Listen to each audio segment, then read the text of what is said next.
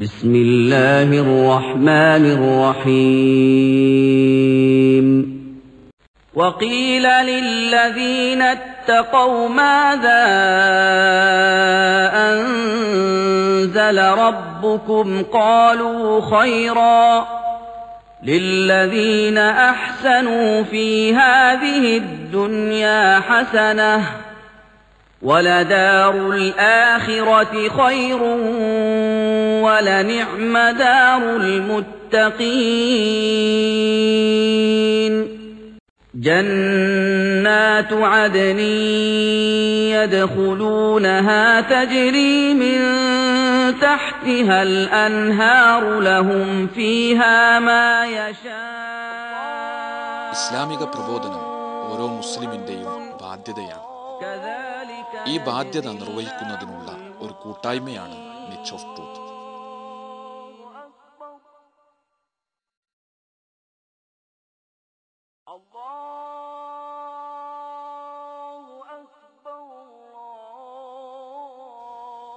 niche of truth പ്രവർത്തനങ്ങൾ ചോദ്യോത്തരത്തോടു കൂടിയ പൊതുപ്രഭാഷണങ്ങൾ മതനേതാക്കളുമായി സ്നേഹസംവാദങ്ങൾ.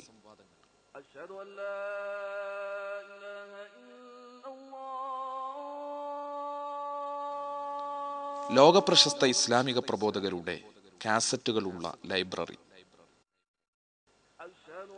പ്രബോധകർക്കായുള്ള റഫറൻസ് ലൈബ്രറി.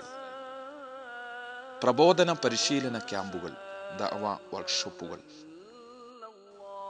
ഇസ്ലാമിനെ പരിചയപ്പെടുത്തുന്ന ലഘുലേഖകളും പുസ്തകങ്ങളും പ്രബോധനത്തിന് മാത്രമായി ഒരു ദൃശ്യശ്രാവ്യ മാധ്യമം ക്രിയേറ്റീവ് മീഡിയ സൗജന്യ ഇസ്ലാം കറസ്പോണ്ടൻസ് കോഴ്സ് ഇസ്ലാം വിമർശനങ്ങൾക്ക് മറുപടി പറയുന്ന ഗ്രന്ഥങ്ങളും കാസറ്റുകളും.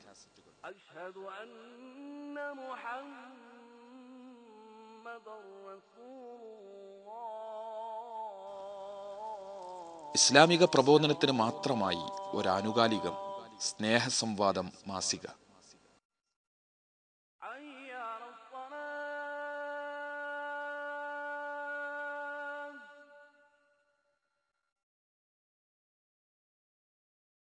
വാരാന്ത ടെലിവിഷൻ പ്രോഗ്രാമുകൾ.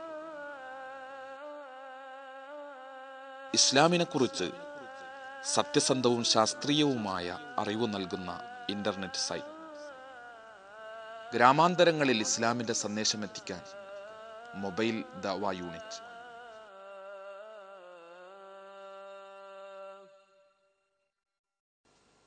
ഖുർആൻ പരിഭാഷാ വിതരണം.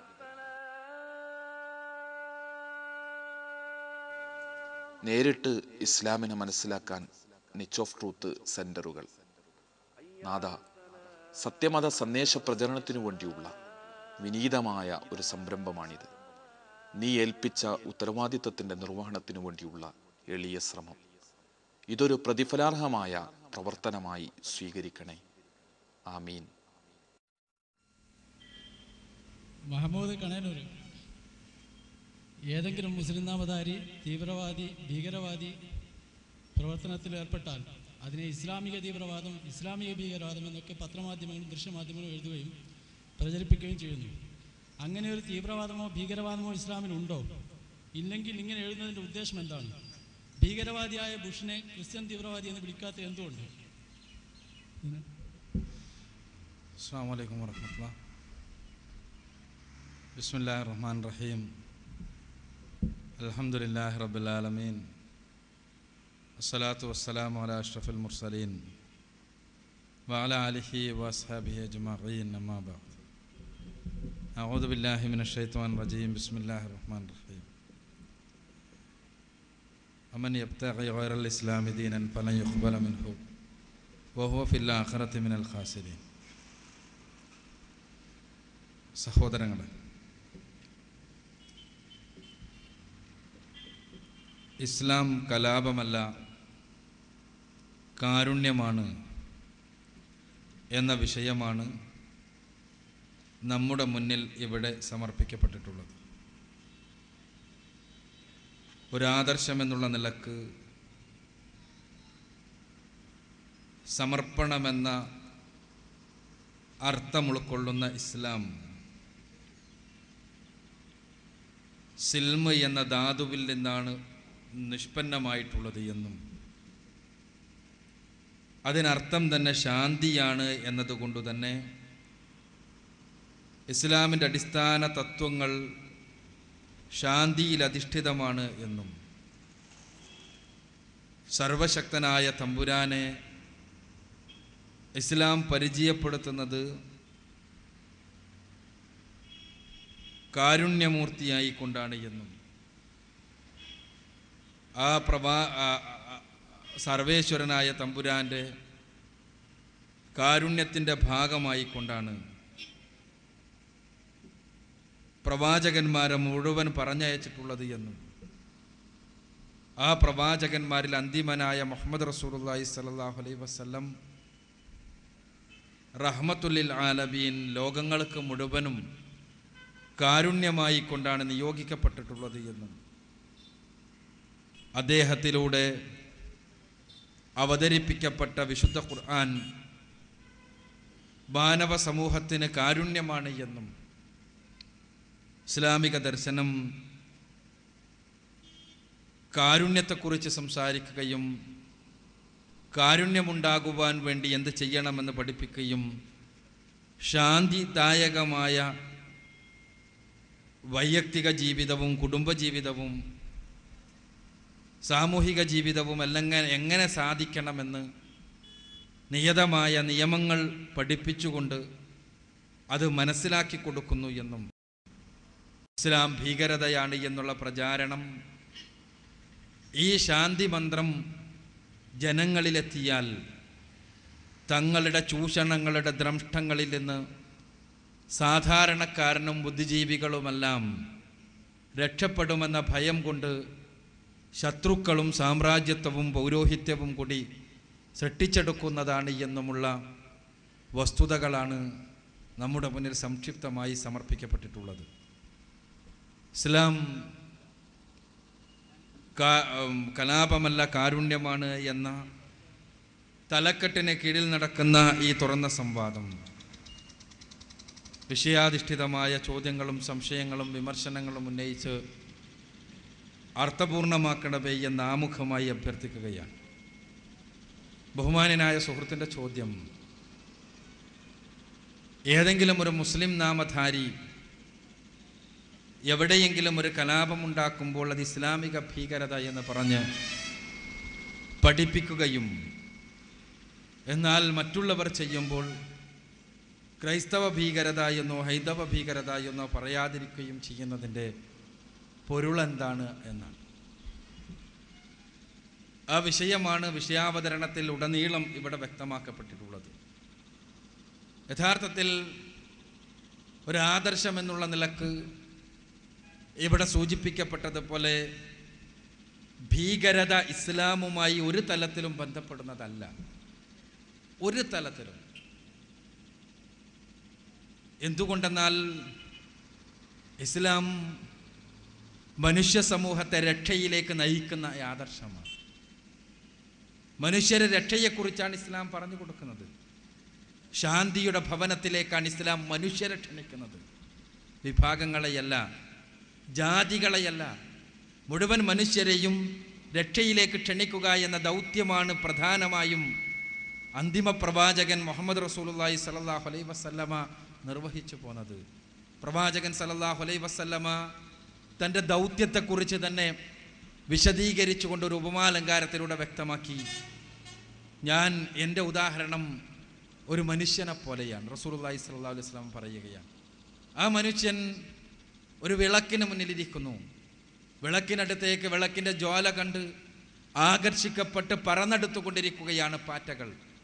ആ പാറ്റകൾ വിളക്കിനടുത്തേക്ക് അടുത്ത് ചെന്നാൽ ജ്വലിക്കുന്ന ഈ വിളക്കിന്റെ തീജ്വാലകളിൽപ്പെട്ട് അവ കരിഞ്ഞു നശിക്കുമെന്ന് എനിക്കറിയാം.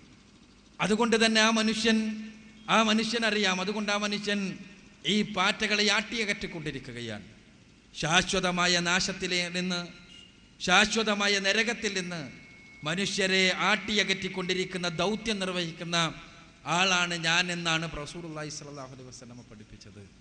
ഇതൊരു വലിയ കാരുണ്യത്തിന്റെ ദൗത്യമാണ്. മനുഷ്യരോടുള്ള കാരുണ്യത്തിന്റെ ദൗത്യം. ഈ കാരുണ്യത്തിന്റെ ദൗത്യം നിർവഹിക്കുകയാണ് പ്രവാചകന്മാർ നിർവഹിച്ചത്. അതേപോലെ തന്നെ അന്തിമ പ്രവാചകനായ മുഹമ്മദ് റസൂലുള്ളാഹി സ്വല്ലല്ലാഹു അലൈഹി വസ്ലമ നിർവഹിച്ചത്. ഇവിടെ സൂചിപ്പിക്കപ്പെട്ടതുപോലെ ഇസ്ലാമിക പ്രബോധകന്മാർ നിർവഹിച്ചു കൊണ്ടിരിക്കുന്നത്.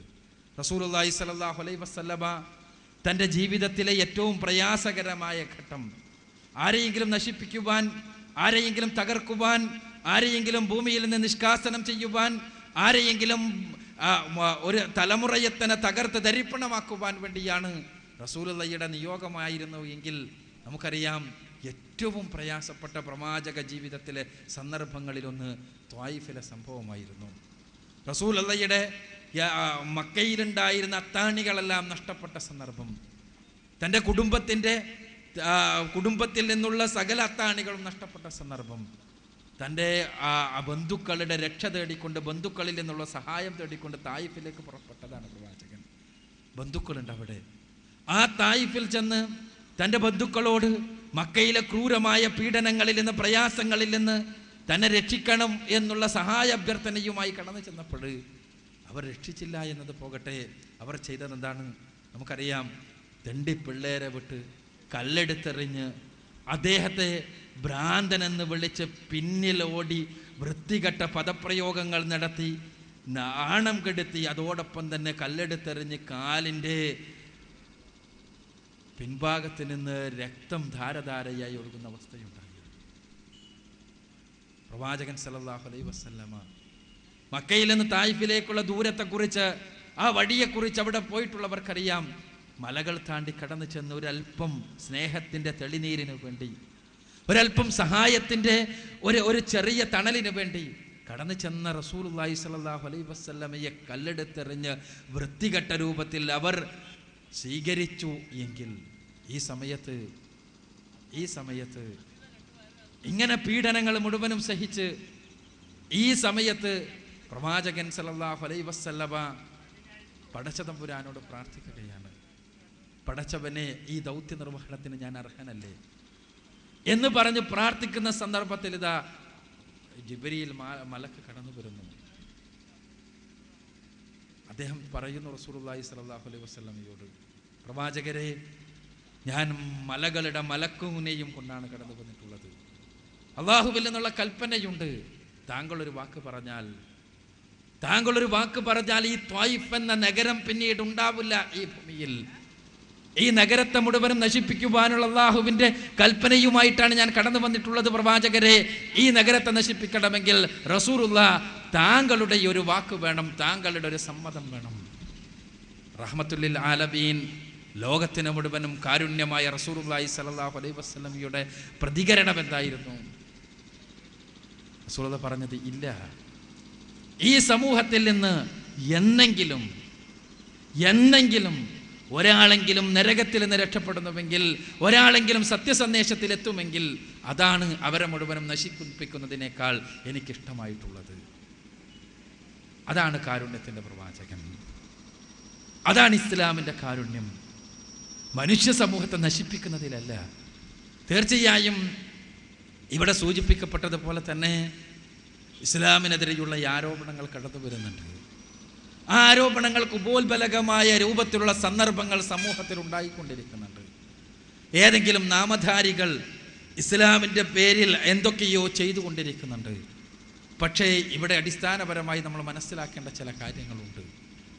ഇത് വളരെ അവിചാരിതമായി സംഭവിക്കുന്ന കുറേ സംഭവങ്ങളല്ല. വളരെ ബോധപൂർവമായി കണക്കാക്കിക്കൊണ്ട് സംഭവിച്ചു കൊണ്ടിരിക്കുന്ന വളരെ സന്ദർഭാധിഷ്ഠിതമായ സംഭവങ്ങളുടെ ശൃംഖലയാണ്. ലോകത്ത് ഇസ്ലാമിനെ വസ്തുനിഷ്ഠമായി മനസ്സിലാക്കിയിട്ടുള്ള സാമൂഹ്യ ശാസ്ത്രജ്ഞന്മാരെല്ലാം ആധുനിക കാലഘട്ടത്തിൽ പറഞ്ഞൊരു കാര്യമുണ്ട്. If any religion has a chance of conquering Europe conquering England Europe that is Islam Bernard പറഞ്ഞതാണ്. ഏതെങ്കിലും ഒരു ആദർശത്തിന് ഇംഗ്ലണ്ടിന്റെ അല്ല യൂറോപ്പിന്റെ മുഴുവനും മനസ്സുകളെ ഭരിക്കുവാൻ സാധിക്കുമെങ്കിൽ മുഴുവനും അതീശത്വപ്പെടുത്തുവാൻ ക- ഭാവിയിൽ കഴിയുമെങ്കിൽ അത് ഇസ്ലാമിനാണ്. എന്തേ കാരണം? ഭരണാക്ഷ മുസ്ലിം ആയിരുന്നില്ല പക്ഷേ അദ്ദേഹം ഇസ്ലാമിന്റെ ശാന്തി സന്ദേശത്തെക്കുറിച്ച് പഠിച്ചു. മനുഷ്യരുടെ മനസ്സുകൾക്കകത്തെ കൃത്യമായി സംതൃപ്തപ്പെടുത്തുവാൻ ഇസ്ലാമിക ആദർശങ്ങൾക്കാണ് കഴിയുക എന്ന് അദ്ദേഹം തിരിച്ചറിഞ്ഞു. മനുഷ്യരുടെ ഭക്തിയെയും യുക്തിയെയും ഒരേപോലെ പ്രീതിപ്പെടുത്താൻ കഴിയുന്ന ഇസ്ലാമിക ആദർശത്തിന്റെ മാനവികതയെ തിരിച്ചറിഞ്ഞു. അതുകൊണ്ട് തന്നെ അന്വേഷണാത്മകമായി പഠിച്ചുകൊണ്ടിരിക്കുന്ന മനുഷ്യരുടെ മനസ്സുകൾക്ക് തൃപ്തി നൽകുവാൻ ഇസ്ലാമിനെ കഴിയൂ എന്ന് അദ്ദേഹം തിരിച്ചറിഞ്ഞു. അത് പറഞ്ഞപ്പോൾ ഇസ്ലാമിനെ മാത്രമേ ആ ഇസ്ലാമിന്റെ അടിന്ന് യൂറോ ഇനി യൂറോപ്പിനെ അധീശത്വപ്പെടുത്തുവാൻ സാധിക്കുക എന്ന് തിരിച്ചറിഞ്ഞപ്പോൾ അദ്ദേഹം അത് തുറന്നു പറഞ്ഞു. പക്ഷേ ഇസ്ലാമിന്റെ ശത്രുക്കൾ ഈ കാര്യം മനസ്സിലാക്കി. ഇസ്ലാമിനെ പഠിച്ചാൽ ജനങ്ങൾ ഇസ്ലാമിനെ മനസ്സിലാക്കിയാൽ ജനങ്ങൾ ഇസ്ലാമിനെ ഉൾക്കൊണ്ടാൽ തങ്ങളുടെ സ്വാർത്ഥമായ താല്പര്യങ്ങൾക്ക് എതിരാകും എന്ന് സാമ്രാജ്യത്വവും പൗരോഹിത്യവും മനസ്സിലാക്കി. എന്തേ കാരണം? പൗരോഹിത്യത്തിന്റെ നിലനിൽപ്പ് ദൈവത്തിന്റെയും മനുഷ്യരുടെയും ഇടയിലുള്ള ദല്ലാളന്മാരായിക്കൊണ്ടാണ്. പൗരോഹിത്യം നിലനിൽക്കുന്നത് ഈ ദൈവം തമ്പുരാനെക്കുറിച്ചുള്ള തെറ്റിദ്ധാരണകൾ നിലനിൽക്കുമ്പോഴാണ്. മനുഷ്യർക്കെടുക്കാൻ കഴിയാത്ത മനുഷ്യരുടെ കയ്യിൽ നിന്ന് ഒരു ഒരുപാട് ഒരുപാട് അകലെയായിട്ടുള്ള ഏതോ ഒരു ദൈവം തമ്പുരാൻ. അങ്ങനെയുള്ള പടച്ചവനിലേക്ക് അടുക്കുവാൻ മട മധ്യവർത്തികളും ഇടയാളന്മാരും അതേപോലെ തന്നെ പൗരോഹിത്യവും ആവശ്യമാണ് എന്ന് പഠിപ്പിക്കപ്പെട്ടപ്പോൾ അതനുസരിച്ച് ആ പൗരോഹിത്യത്തിന് സ്ഥാനമുണ്ടായിരുന്നു. ഇസ്ലാം സട്ടാവായ തമ്പുരാനെ അവനെ മാത്രം ആരാധിക്കണമെന്ന സന്ദേശം പഠിപ്പിക്കുമ്പോൾ ആ സന്ദേശത്തിലേക്ക് ആളുകൾ കടന്നു വന്നാൽ സട്ടാവായ തമ്പുരാൻ ആ സൃഷ്ടാവായ തമ്പുരാൻക്കിന് കൃത്യമായി അറിയാവുന്ന തന്റെ ദാസൻ ദാസനായ മനുഷ്യൻ. ആ മനുഷ്യന് പ്രാർത്ഥിക്കുവാൻ അവന്റെ പ്രശ്നങ്ങൾ പറയുവാൻ അവന്റെ പ്രതിസന്ധികൾ അവർ അവതരിപ്പിക്കുവാൻ അവൻ പാപം ചെയ്തു പോയെങ്കിൽ അവൻ വഴി പിടച്ചു പോയെങ്കിൽ അവന്റെ തെറ്റുകൾ ഏറ്റുപറഞ്ഞ് മാപ്പിന് വേണ്ടി പറയുവാൻ പശ്ചാത്തപിക്കുവാൻ സട്ടാവായ തമ്പുരാൻ അവൻ മാത്രം മതി എന്നുള്ളൊരു ചിന്ത വന്നു കഴിഞ്ഞാൽ തീർച്ചയായും പൗരോഹിത്യത്തിന് പിന്നെ സ്ഥാനമുണ്ടാവില്ല. അതുകൊണ്ട് തന്നെ പൗരോഹിത്യം ഇസ്ലാമിനെ പുറത്തു അതോടൊപ്പം തന്നെ ഭൗതികതയുടെ ആളുകളും ഇസ്ലാമിനെ പുറത്തു എന്തേ കാരണം? മനുഷ്യരുടെ മൃദുലമായ വികാരങ്ങളെ കച്ചടം ചെയ്യ കച്ചവടം ചെയ്യുകയാണ് മാർക്കറ്റിങ്ങിന്റെ ആളുകളുടെ രീതി. മനുഷ്യരുടെ വികാരങ്ങളെയാണ് അവർ കച്ചവടം ചെയ്യുന്നത് വസ്തുക്കളെയല്ല. ഇന്ന് ലോകത്ത് നടന്നുകൊണ്ടിരിക്കുന്നത് അതാണ്. മാർക്കറ്റിംഗ് എന്ന് പറഞ്ഞാൽ സാമ്രാജ്യത്വം എന്ന് പറഞ്ഞാൽ അവരെല്ലാം ചെയ്തുകൊണ്ടിരിക്കുന്നത് വികാരങ്ങളുടെ കച്ചവടപാട്. അതെ മാർക്കറ്റിങ്ങിനെ സ്നിഗ്ധമാക്കണമെങ്കിൽ അവർക്കാവശ്യം ആ രൂപത്തിലുള്ള കാര്യങ്ങളാണ്. നമുക്കറിയാം മാർക്കറ്റിംഗ് നടക്കണമെങ്കിൽ പെണ്ണിന്റെ സൗന്ദര്യത്തിന്റെ പ്രദർശനം വേണം. പെണ്ണ് പച്ചയായി കച്ചവടം ചെയ്യപ്പെടുന്ന അവസ്ഥ വേണം. ലൈംഗിക ഉദാരീകരണത്തെക്കുറിച്ച് കേരളത്തിൽ പോലും വ്യാപകമായ ചർച്ചകൾ നടന്നുകൊണ്ടിരിക്കുകയാണ് ഇപ്പോൾ തീർച്ചയായും അത് വേണം. ഇവിടെ കച്ചവടവൽകൃതമായ ഒരു സമൂഹം നിലനിൽക്കണമെങ്കിൽ. അതോടൊപ്പം തന്നെ ലഹരിയുണ്ടാകണം മദ്യമില്ലാത്ത കച്ചവടം എന്നുള്ളത് ആധുനിക സമൂഹത്തിന് ചിന്തിക്കുവാൻ പോലും സാധ്യമല്ലാത്തതാണ് മാർക്കറ്റിങ്ങിന്റെ ഉന്നതമായ വേദികളിൽ. അതേപോലെ തന്നെ കച്ചവടം നിലനിൽക്കണമെങ്കിൽ പലിശ വേണം. കച്ചവടം ഉണ്ടാകണമെങ്കിൽ അതിലേക്ക് ആകൃഷ്ടരാകണമെങ്കിൽ കച്ചവടത്തെ സ്നിഗ്ധമാക്കണമെങ്കിൽ ലോട്ടറി ഉണ്ടാകണം. ഇങ്ങനെ കച്ചവടം നിലനിർത്തുവാൻ വേണ്ടി എന്ന രൂപത്തിൽ അവതരിപ്പിക്കുന്ന കാര്യങ്ങളെല്ലാം മനുഷ്യരുടെ വികാരങ്ങളെ ചൂഷണം ചെയ്യുന്ന മനുഷ്യരെ മുഴുവനും ഭൗതികമായി ചൂഷണം ചെയ്യുന്ന കാര്യങ്ങളെല്ലാം തന്നെ ഇസ്ലാം അവിടെ മുഴുവനും പുറംതിരിഞ്ഞു നിൽക്കുന്നു. ഇസ്ലാം അതിന് മുഴുവനും എതിര് നിൽക്കുന്നു. അതുകൊണ്ട് തന്നെ തങ്ങളുടെ ചൂഷണത്തിൽ നിന്ന് ഇസ്ലാം ജനങ്ങളെ സമർത്ഥമായി രക്ഷപ്പെടുത്തുന്നു. അത് കേവലം പ്രകടനങ്ങളിലൂടെയല്ല മറിച്ച് ആശയങ്ങളെ മനസ്സുകൾക്കകത്തേക്ക് സന്നിവേശിപ്പിച്ചുകൊണ്ട് എന്റെ ഇസ്ലാമിനെതിരെയുള്ള പെൺപക്ഷ വിമർശനങ്ങളുടെ ഫെമിനിസ്റ്റ് വിമർശനങ്ങളുടെ സ്ത്രീ പക്ഷത്തുള്ള വിമർശനങ്ങളുടെ മുഴുവനും കാതൽ ആ അതിന്റെ കാതലിലേക്ക് കടന്നു ചെന്നാൽ നമുക്ക് മനസ്സിലാക്കാൻ കഴിയുക. സ്ത്രീ ഇസ്ലാം പറയുന്ന രൂപത്തിൽ ജീവിച്ചാൽ ഇസ്ലാം പറയുന്ന വസ്ത്രമുടുത്താൽ ഇസ്ലാം പറയുന്ന രൂപത്തിൽ പെണ്ണിന്റെ ജീവിത നിലവാരമുണ്ടായാൽ ഇവരുടെ മാർക്കറ്റിങ്ങിന്റെ തൊണ്ണൂറ് ശതമാനവും അവസാനിക്കുകയാണ്. അതുകൊണ്ട് തന്നെ അത് പ്രാകൃതമാണ് വൃത്തികെട്ടതാണ് വൃത്തികെട്ടതാണ് വൃത്തികെട്ടതാണ് എന്ന് പഠിപ്പിക്കപ്പെടണം.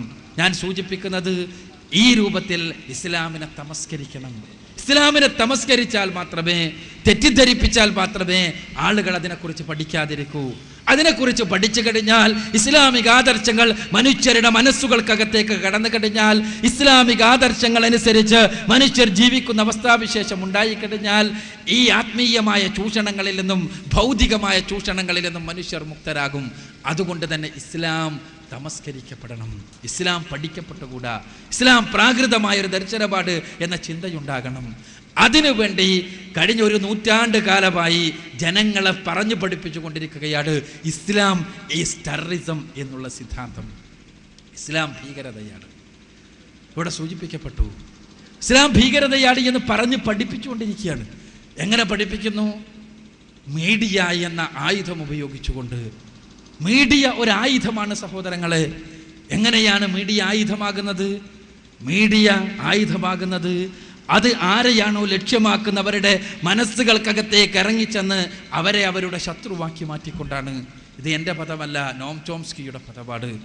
മീഡിയ രംഗത്തെ വിദഗ്ധനായ പാശ്ചാത്യ ബുദ്ധിജീവി നോം ചോംസ്കി പറഞ്ഞത് ആറ്റം ബോംബ് സകലതിനെയും നശിപ്പിക്കുമെങ്കിൽ ന്യൂട്രോൺ ബോംബ് ജീവനുള്ള വസ്തുക്കളെ മാത്രം നശിപ്പിക്കുമെങ്കിൽ മീഡിയ എന്ന ആയുധം മനുഷ്യരെ അവരുടെ മനസ്സുകൾക്കകത്തേക്ക് ഇറക്കി ചെന്നുകൊണ്ട് അവരുടെ തന്നെ ആത്മാവിനെതിരായി അവരെയാക്കി തീർക്കുക എന്ന ദൗത്യമാണ് മീഡിയ എന്ന ആയുധം നിർവഹിക്കുന്നത് എന്നാണ്.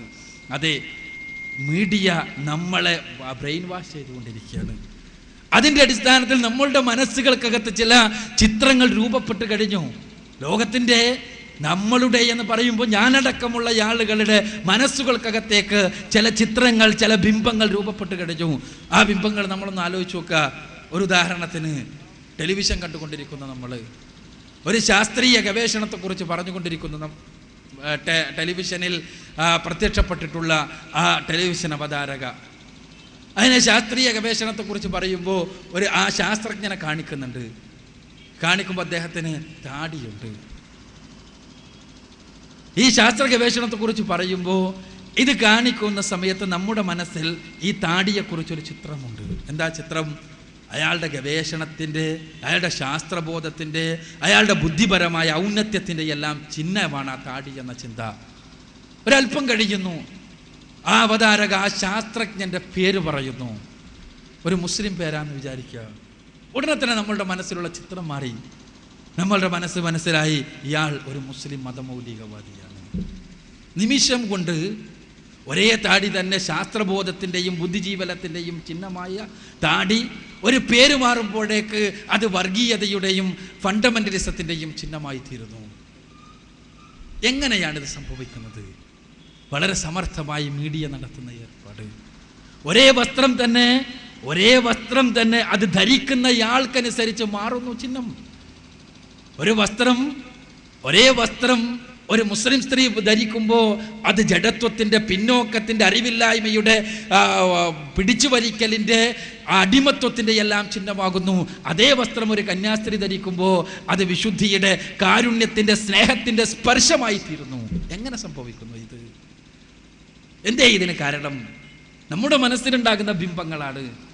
ആ ബിംബങ്ങൾ വളരെ സമർത്ഥമായി സൃഷ്ടിച്ചുകൊണ്ടിരിക്കുകയായിരുന്നു കഴിഞ്ഞ ഒരു നൂറ്റാണ്ട് കാലമായി അതുകൊണ്ട് തന്നെ ഇസ്ലാം ഭീകരതയാണ് എന്നുള്ള സിദ്ധാന്തം വളരെ സമർത്ഥമായി ജനങ്ങൾക്കിടയിൽ പ്രചരിപ്പിച്ചുകൊണ്ടിരിക്കുന്നു. എന്തേ മറ്റുള്ള ചോദ്യകർത്താവ് ചോദിച്ചതുപോലെ മറ്റുള്ളവർ ചെയ്യുന്നത് പ്രചരിപ്പിക്കുന്നില്ല. അത് സ്വാഭാവികമാണ്. എന്തുകൊണ്ടെന്നാൽ മറ്റുള്ളവരോടാണ് എതിർപ്പ് അവരുടെ ആദർശത്തോടല്ല. എന്തേ അവരുടെ ആദർശത്തോട് എതിർപ്പില്ലാത്തത്? അവരുടെ ആദർശം ജനങ്ങളുടെ ജീവിതവുമായി ബന്ധപ്പെടുന്നില്ല. അവിടെ സെപ്പറേഷൻ കഴിഞ്ഞു. അതുകൊണ്ട് തന്നെ ഒരു പ്രശ്നമില്ല എന്താ?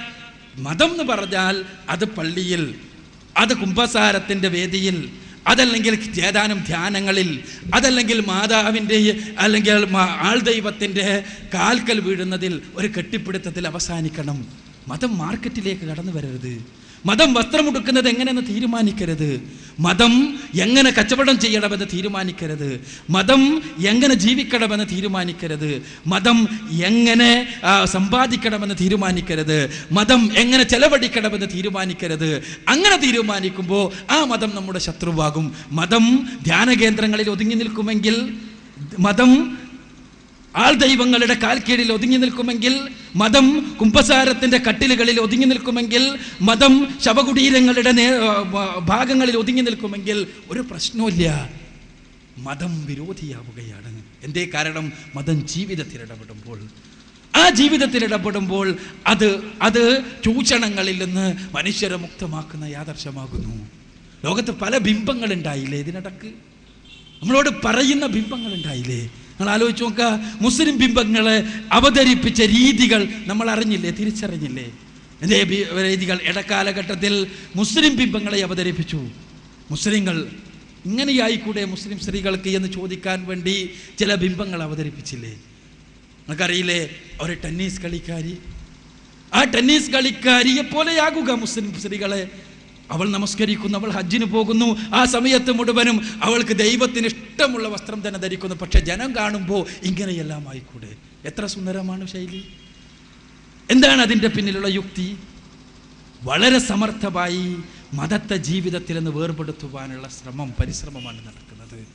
അവിടെയാണ് ഇസ്ലാം വിരോധമാകുന്നത്. ഇസ്ലാമിക ജീവിതം നയിക്കുന്നുവെങ്കിൽ അതെങ്ങനെയാണ്? അത് മറ്റൊരു രൂപത്തിലുമല്ല.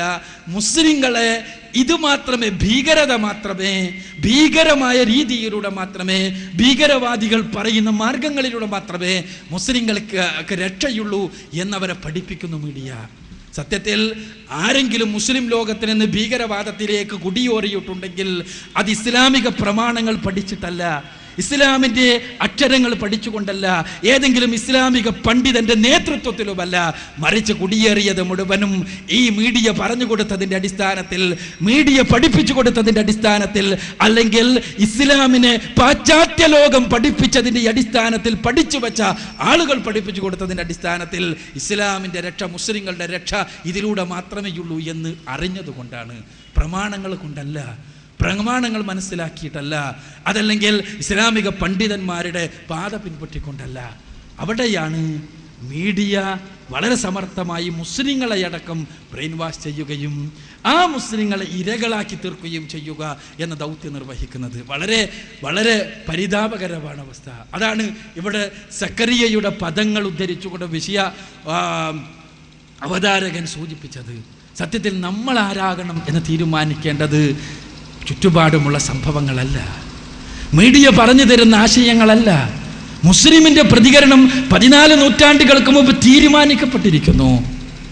പരിശുദ്ധ ഖുർആാനിന്റെ തിരുസുന്നത്തിന്റെ ആശയങ്ങളിലൂടെ കടന്നു പോകുമ്പോൾ ഒരു മുസ്ലിം ഏതവസരത്തിലും എങ്ങനെയാകണമെന്ന് പതിനാല് നൂറ്റാണ്ടുകൾക്ക് മുമ്പ് കൃത്യമായി തീരുമാനിക്കപ്പെട്ടിരിക്കുന്നു. അതുകൊണ്ട് തന്നെ ഏതെങ്കിലും മീഡിയകൾ പറഞ്ഞു തരുന്നതിന്റെ അടിസ്ഥാനത്തിൽ പ്രതികരിക്കേണ്ടവനല്ല മുസ്ലിം. മറിച്ച് കൃത്യമായി പ്രമാണങ്ങൾ പ്രകാരം മുസ്ലിം പ്രതികരിക്കാൻ തുടങ്ങുമ്പോൾ യഥാർത്ഥത്തിൽ മുസ്ലിം ഇങ്ങനെ ഇരകളാക്കി മാറ്റപ്പെടുന്നതിൽ നിന്ന് രക്ഷപ്പെടുകയാണ് ചെയ്യുന്നത്. സത്യത്തിൽ ഭീകരവാദത്തിലേക്ക് കുടിയേറിയിട്ടുള്ള ആരെങ്കിലും ഉണ്ടെങ്കിൽ അവർ പാവങ്ങളാണ് ഇരകളാണ് എന്നുള്ളതാണ് സത്യം. അവർ അറിയാതെ ശത്രുവിന്റെ ഇരകളായി തീരുകയാണ് അവർ ചെയ്യുന്നത്. അത് തിരിച്ചറിയിക്കുക എന്നതുകൂടിയാണ് ഇത്തരം പ്രമേയങ്ങളുടെ പ്രസക്തി ചുരുക്കത്തിൽ. ഇവിടെ ചോദ്യത്തിനുള്ള ഉത്തരം ഇതാണ്. ഞാൻ ഒരല്പം വിശദീകരിച്ചത് ഈ വിഷയം വിശദീകരിക്കപ്പെടേണ്ടതുണ്ട് എന്നതുകൊണ്ട് തന്നെയാണ് ചോദ്യത്തിനുള്ള ഉത്തരം. മറ്റുള്ളവർ ചെയ്താൽ അത് അവരുടെ ഭീകരതയായി തീരുന്നില്ല എന്തുകൊണ്ടെന്നാൽ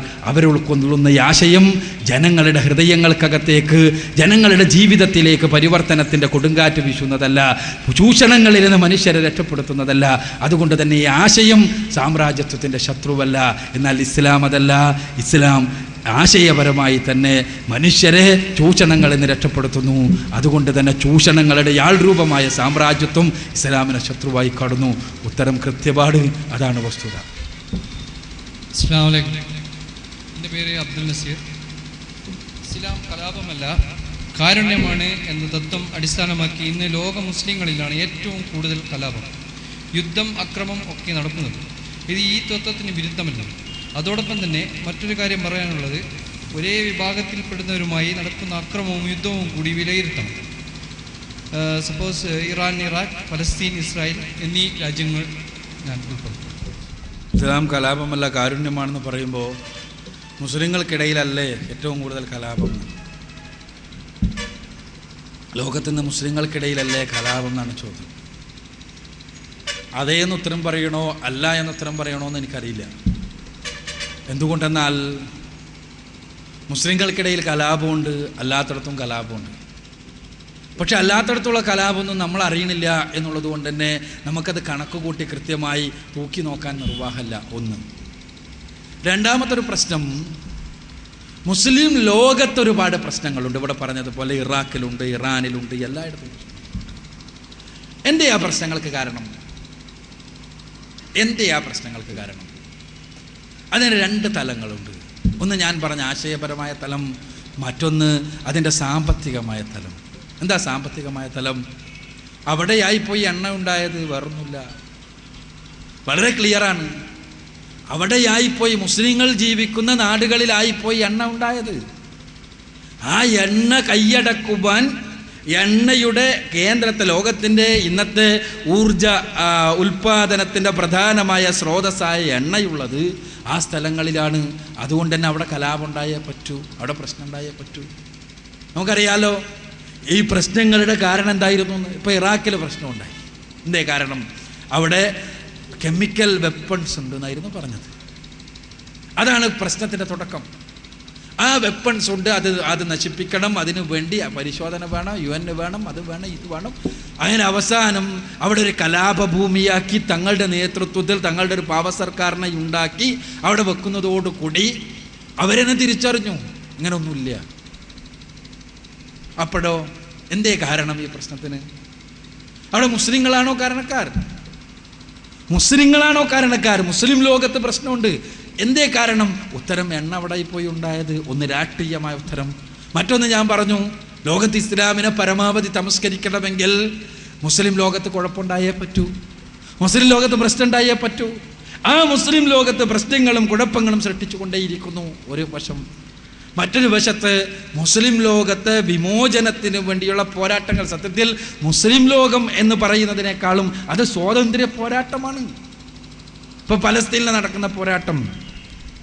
അവിടെ ക്രിസ്ത്യാനികളുണ്ട് മുസ്ലിങ്ങളുണ്ട് ഈ പോരാട്ടത്തിൽ. അവിടെ ഭൂരിപക്ഷം മുസ്ലിങ്ങളായതുകൊണ്ട് മുസ്ലിംകളുടെ പോരാട്ടമായി അറിയപ്പെടുന്നു മാത്രം. അതേസമയം ഇപ്പൊ ഇന്ത്യയുടെ സ്വാതന്ത്ര്യ സമരം ആ ഇന്ത്യയുടെ സ്വാതന്ത്ര്യ സമരം പുറത്തെല്ലാം ഹിന്ദു സമരമായിരുന്നു. എന്തേ കാരണം? ഇന്ത്യയിൽ ഭൂരിപക്ഷം ഹിന്ദുക്കളാണ്. അതേപോലെ തന്നെ പലസ്തീനിൽ അവരുടെ സ്വാതന്ത്ര്യ സമരത്വമാണ് യഥാർത്ഥത്തിൽ നടന്നുകൊണ്ടിരിക്കുന്നത്. തങ്ങൾ ജനിച്ച് ജീവിച്ച് വളർന്ന മണ്ണിൽ സ്വന്തം അഡ്രസ്സ് നഷ്ടപ്പെടുന്ന അവസ്ഥാവിശേഷം തങ്ങളൊന്ന് ആലോചിച്ച് നോക്കുക. തങ്ങൾ ജനിച്ച് ജീവിച്ച് വളർന്ന മണ്ണ് മണ്ണിൽ തങ്ങൾ കളിച്ച് വളർന്ന മണ്ണിൽ ഒരു ദിവസം പറയാണ് നിങ്ങൾ ഇവിടുത്തുകാരല്ല പിന്നെ ഇവിടുത്തുകാരാ? എവിടുത്തുകാരും അല്ല അങ്ങനെ സ്വന്തം നാട്ടിൽ വിലാസം നഷ്ടപ്പെടുമ്പോൾ അതിന് പ്രതികരിക്കാൻ ആരെങ്കിലും കവണയെടുത്തുവെങ്കിൽ അവരെ ഭീകരവാദി എന്നാണോ വിളിക്കേണ്ടത്? നമ്മൾ പരിശോധിക്കേണ്ടതാണ്. അവിടെ ഞാൻ പറഞ്ഞു വരുന്നത് സ്വാതന്ത്ര്യ സമരം നടക്കുന്ന പ്രദേശങ്ങളുണ്ട്. ആ പ്രദേശങ്ങളിൽ സ്വാഭാവികമായി നടന്നുകൊണ്ടിരിക്കുന്ന കാര്യം അവിടെ ഭൂരിപക്ഷം മുസ്ലിങ്ങളാണ് എന്നുള്ളത് കൊണ്ട് അതിനെ എങ്ങനെ ചൂണ്ടിക്കാണിക്കുന്നു? മറ്റൊരു പക്ഷം നേരത്തെ പറഞ്ഞതുപോലെ എണ്ണയുമായി ബന്ധപ്പെട്ട കാര്യമാണ്. ഇതല്ലാത്ത സ്ഥലങ്ങളിലുള്ളതൊപ്പോ ഇപ്പൊ അടുത്ത് നടന്ന ഏറ്റവും വലിയൊരു കലാപമാണ് ശ്രീലങ്കയിൽ നടന്നത്. അല്ലേ ശ്രീലങ്കയിൽ നടന്നത് പ്രഭാകരന്റെ നേതൃത്വത്തിൽ. ഈ അടുത്ത വലിയ പ്രശ്നം ഉണ്ടായി പ്രഭാകരൻ അടക്കം മരിച്ചു എന്നുള്ള ന്യൂസ് ഉണ്ടായി. പക്ഷേ അതിനെ ഫോക്കസ് ചെയ്യപ്പെട്ടോ? ഹിന്ദു കലാപമായി? അതിനാ രൂപത്തിൽ അവതരിപ്പിക്കപ്പെട്ടോ? അതിനുണ്ടായോ നേപ്പാളിലുണ്ടായി പ്രശ്നം. രാജാവിനെതിരെയുള്ള ഒരു വലിയ കലാപം. ഹിന്ദുക്കൾ ഹിന്ദു രാഷ്ട്രാണത്. അത് ഹിന്ദു കലാപമായി അറിയപ്പെട്ടോ ഇന്നും ഐറിഷ് റിപ്പബ്ലിക്കൻ ആർമിയുടെ പ്രവർത്തകന്മാർ ബ്രിട്ടനിൽ ബ്രിട്ടീഷ് സർക്കാരിനെതിരെ നടത്തിക്കൊണ്ടിരിക്കുന്നു. കത്തോലിക്കരാണ് കലാപകാരികൾ. കത്തോലിക്ക കലാപമായി അറിയപ്പെടുന്നുണ്ടോ? ഇന്ത്യ രാജ്യത്ത് തന്നെ ബോഡോ തീവ്രവാദികൾ നടത്തുന്ന കലാപമുണ്ട്. അത് ക്രിസ്ത്യൻ കലാപമായി അറിയപ്പെടുന്നുണ്ടോ? എന്തേ കാരണം? അതിന് കാരണം ഞാൻ നേരത്തെ പറഞ്ഞതാണ്. ഒന്നാമത്തത് ആദർശപരമായ പ്രശ്നം. അതറിയപ്പെടുന്നതിന്റെ ഈ അടിസ്ഥാനം ആദർശപരമായ പ്രശ്നം. മുസ്ലിം ലോകത്ത് ഇങ്ങനെ കുഴപ്പമുണ്ടാകുന്നതിന്റെ കാരണം അവിടെ വെള്ളത്തിന്റെ സ്രോതസ്സുണ്ട് അതേപോലെ തന്നെ എണ്ണ എണ്ണന്റെ സ്രോതസ്സുണ്ട് എന്നുള്ള ഉത്തരം. ഇതാണ് വസ്തുത ഇതാണ് ലോകത്തിന്റെ കിടപ്പ് ആരോപത്തിലാണ് എന്നുള്ളതാണ് സത്യം. എന്റെ പേര് വിജയൻ അഞ്ചരക്കണ്ടി കുഴിമ്പാലോട് വട്ട സ്വദേശിയാണ്. എനിക്ക് മതങ്ങളെക്കുറിച്ച് കാര്യമായൊരു സംശയമുണ്ട്. അത് മിസ്റ്റർ അക്ബറിനോട് ചോദിക്കുകയാണ്. ആയിരത്തി നാനൂറ് വർഷങ്ങൾക്ക് മുമ്പേ സൗദി അറേബ്യയിലെ പുണ്യഭൂമിയായ മക്കയിൽ പിറന്നു വീണ ലോകത്തിലെ ഏറ്റവും വലിയ രണ്ടാമത്തെ മതമായ ഇസ്ലാം മതം അതിന്റെ വിശുദ്ധ ഗ്രന്ഥമായ ഖുറാനിൽ വളരെ വ്യക്തമായി ഈ കാണുന്ന പ്രപഞ്ചവും അതുപോലെ തന്നെ എല്ലാ ജീവജാലങ്ങളും സൃഷ്ടിച്ചത് സർവശക്തനായ അള്ളാഹുവാണ് എന്ന് വളരെ വ്യക്തമായി പറയുന്നു. കണ്ണിന് കാഴ്ചശക്തി നൽകിയ ശക്തി ഏതോ അത് അള്ളാഹുവാണ്. ഈ പ്രപഞ്ചത്തിലെ ബാക്ടീരിയകളെയും ഫംഗസുകളെയും വൈറസുകളെയും അതുപോലെ തന്നെ പ്രപഞ്ചത്തെ തന്നെയും ഇവിടെ നമുക്ക് ഒരുക്കി തന്നത് ജീവിക്കാനുള്ള എല്ലാ സാഹചര്യങ്ങളും നമുക്ക് ഒരുക്കി തന്നത് സർവശക്തനായ അള്ളാഹുവാണ് എന്ന് ഇസ്ലാം മത ഗ്രന്ഥം ഖുറാൻ വളരെ വ്യക്തമായി പറയുന്നു. എന്നാൽ ലോകത്തിലെ മറ്റൊരു മതമായ ക്രിസ്തീയ മതം അതിന്റെ വിശുദ്ധ ഗ്രന്ഥമായ ബൈബിളിൽ വളരെ വ്യക്തമായി പറയുന്നത് ഈ കാണുന്ന പ്രപഞ്ചവും പ്രപഞ്ചത്തിലെ സർവ ജീവജാലങ്ങളും സൃഷ്ടിച്ചത് സർവശക്തനായ യഹോവയാണ് എന്ന് വളരെ വ്യക്തമായി ബൈബിളിൽ പറയുന്നു. എന്നാൽ ഇന്ത്യയിലെ ഹിന്ദുമതമാകട്ടെ അല്ലെ സിന്ധു നദീതട സംസ്കാരമാകട്ടെ വളരെ വ്യക്തമായി പറയുന്നത് ആദിപരാശക്തിയായ ശിവനും ബ്രഹ്മാവും ഒക്കെ ചേർന്നാണ് ഈ കാണുന്ന പ്രപഞ്ചം സൃഷ്ടിച്ചത് എന്ന് ഹിന്ദുമതം അല്ലെ സിന്ധു നദീതട സംസ്കാരം വിശ്വസിക്കുന്നു. അങ്ങനെ ലോകത്തിലുള്ള നിരവധി മതങ്ങളിലെ നിരവധി മതഗ്രന്ഥങ്ങൾ ഉദ്ഘോഷിക്കുന്നത് ഈ കാണുന്ന പ്രപഞ്ചം മുഴുവൻ സൃഷ്ടിച്ചത് അതിലുള്ള ജീവജാലങ്ങൾ മുഴുവൻ സൃഷ്ടിച്ചത് ഞങ്ങളുടെ ദൈവമാണ് ഞങ്ങളുടെ ദൈവമാണ് എന്ന് ഓരോ മതങ്ങളും പറയുമ്പോൾ ഈ കാണുന്ന പ്രപഞ്ചം ഒന്നല്ലേ ഉള്ളൂ മിസ്റ്റർ അക്ബർ? ഈ ഒരൊറ്റ പ്രപഞ്ചം ഓൺലി വൺ യൂണിവേഴ്സ് ഈ പ്രപഞ്ചത്തെ നിരവധി മതങ്ങളിലെ നിരവധി ദൈവങ്ങൾ നിരവധി തവണ നിർമ്മിച്ചു എന്ന് പറയുന്നത് മതങ്ങൾ തെറ്റിദ്ധരിപ്പിക്കലല്ലേ? ഈ കാര്യത്തെക്കുറിച്ച് ഒരു വിശദീകരണം താങ്കളിൽ നിന്നും ഞാൻ പ്രതീക്ഷിക്കാം. ബഹുമാനനായ സുഹൃത്ത് വിജയന്റെ ചോദ്യം വളരെ പ്രസക്തമാണ്. എല്ലാവരും അവനവന്റെ ദൈവമാണ് ഈ പ്രപഞ്ചത്തെ സൃഷ്ടിച്ചതെന്ന് പറയുന്നു. ആകെ ഒരു പ്രപഞ്ചമുള്ളൂ തന്നെ ഇതെങ്ങനെ ശരിയാവുന്നതാണ്? യഥാർത്ഥത്തിൽ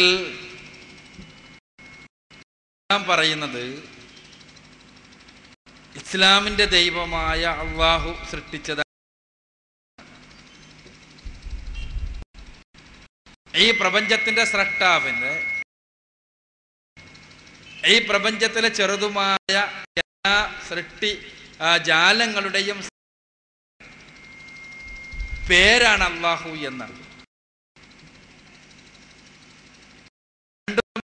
പ്രധാനപ്പെട്ട ഒരു അന്തരമുണ്ട്. ഈ പ്രപഞ്ചത്തിന്റെ സ്രഷ്ടാവ് ഞങ്ങൾ ദൈവമാണ് എന്നല്ല ഇസ്ലാം പറയുന്നത്. ഈ പ്രപഞ്ചത്തിനൊരു സ്രഷ്ടാവുണ്ട് ആ സ്രഷ്ടാവിന് പ്രവാചകന്മാർ വിളിച്ച പേര് അള്ളാഹു എന്നാണ്. ആ ലോകത്തിന്റെ വ്യത്യസ്തങ്ങളായ ഭാഗങ്ങളിലേക്ക് കടന്നു വന്ന അവരുടെ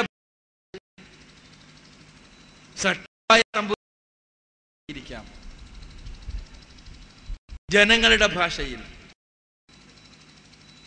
എന്റെ സുഹൃത്ത് തന്നെ ഇവിടെ ബൈബിളിൽ കാണും നമ്മൾ യഹോ എന്ന് അത് ആ യഹോവ എന്ന പേര് യഥാർത്ഥത്തിൽ ബൈബിളില്ല ആ മൂലകൃതിയിലെ പേരെന്താണ് എന്ന് ആർക്കും അറിയില്ല. മൂന്ന് സ്വരാക്ഷ മൂന്ന് വ്യഞ്ജനാക്ഷരങ്ങൾ ആയിരുന്നു പറഞ്ഞത് എന്നും പിൽക്കാലഘട്ടത്തിൽ യഹൂദ റബ്ബിമാർ സംസാരത്തിന്റെ സൗകര്യത്തിന് വേണ്ടി ആ സ്വകാര്യ വ്യജ്ഞനാക്ഷരത്തെ യഹോവ എന്നാക്കി മാറ്റിയതാണ് എന്നും ബൈബിൾ പണ്ഡിതന്മാർ പറയുന്നത് നമുക്ക് കേൾക്കാൻ കഴിയും. ചുരുക്കത്തിൽ ഞാൻ പറയുന്നത് ദൈവ യഹോവ എന്ന് വിളിക്കുന്നതിനോട് അത് പ്രപഞ്ച സട്ടാവായ തമ്പുരാനെ ആ പേര് ഇസ്ലാമിന്റെ എതിർപ്പ്. അതേപോലെ തന്നെ ഹിന്ദു സമൂഹം ശിവനായാലും ബ്രഹ്മാവായാലും വിഷ്ണുവായാലുമെല്ലാം മൂന്ന് പ്പിക്കപ്പെടുന്ന ഒരു കാലത്തിന് മുമ്പ് ഈ മൂർത്തികളെ കുറിച്ചുള്ള ചിന്തയെല്ലാം ഉണ്ടാകുന്നതിന് ഭാരതീയ ഗ്രന്ഥങ്ങൾ പരിശോധിച്ചാൽ നമുക്ക് കാണാൻ കഴിയും. ആ എല്ലാം മുമ്പുള്ള പരമേശ്വരനായ തമ്പുരാനെ കുറിച്ച് അവരുടെ ഹിരണ്യഗർഭൻ എന്ന് വിളിച്ചിട്ടുണ്ട് പ്രജാപതി എന്ന് വിളിച്ചിട്ടുണ്ട് പരബ്രഹ്മം എന്ന് പറഞ്ഞിട്ടുണ്ട് പരമാത്മാവ് എന്ന് പറഞ്ഞിട്ടുണ്ട്. ആ സൃഷ്ടികർത്താവ് ഇവിടേക്ക് കടന്നു വന്ന മഹാന്മാരെ പേരുകളാകാം ഇത് പേരുകളിലല്ല തർക്കം നർത്തം അള്ളാഹുവിന്റെ തന്നെ തങ്ങളുടെ തങ്ങളുടെ ഭാഷയിൽ പരിചയപ്പെടുത്തിയ പേരുകളാകാം ഇത് പക്ഷെ എല്ലാവരും അംഗീകരിക്കുന്ന ഒരു സത്യം.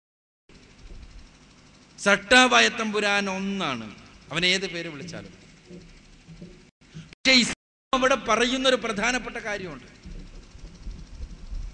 ആ സട്ടാവായ തമ്പുരാനെ ആരാധിക്കുവാനാണ് നമ്മൾ സന്നദ്ധമാക്കേണ്ടത്. സൃഷ്ടികളെയല്ല.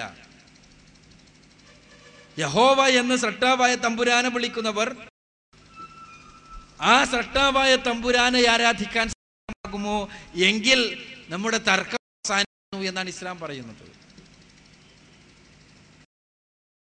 പരമാത്മാവ് എന്ന് പരബ്രഹ്മം എന്ന് വിളിക്കുന്ന ആളുകൾ സട്ടാവായ തമ്പുരാനെ ആരാധിക്കാൻ എങ്കിൽ തർക്കത്തിന്റെ പ്രധാനപ്പെട്ട ഒരു ഭാഗം അവസാനിക്കുന്നു എന്നാണ് ഇസ്ലാം പറയുന്നത്. സൃഷ്ടാവിനെ ആരാധിക്കുക സൃഷ്ടികളെയല്ല. മുഹമ്മദ് നബി സൃഷ്ടിയാണ്.